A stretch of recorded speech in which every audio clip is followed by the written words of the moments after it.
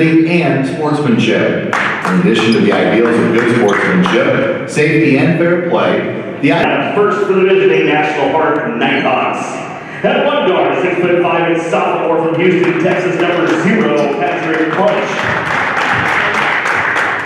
A center six foot eleven inches, sophomore from Huntsville, Texas, number one, Taylor Carroll.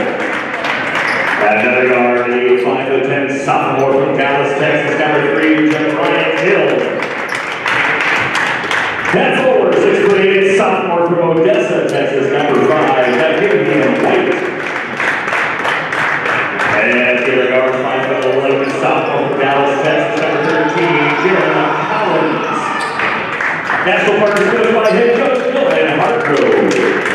Now the today's starting lines for the home team on the scoreboard, the Snappers from Spoon River. At one forward, six foot two inch freshman from Charleston, West Virginia, number zero, Casey Welch. And another forward, six foot six inch freshman from West Palm Beach, Florida, number one, Lazario Cornish. At guard, six foot one inch sophomore from Lewiston, Illinois, number three, John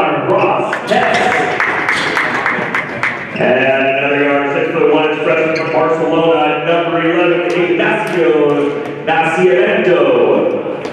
And at the other guard, a six foot three inch freshman from Fort Lauderdale, Florida, number twenty-three, Jordan Evans. Spoon Rivers coached by head coach Kent Jones.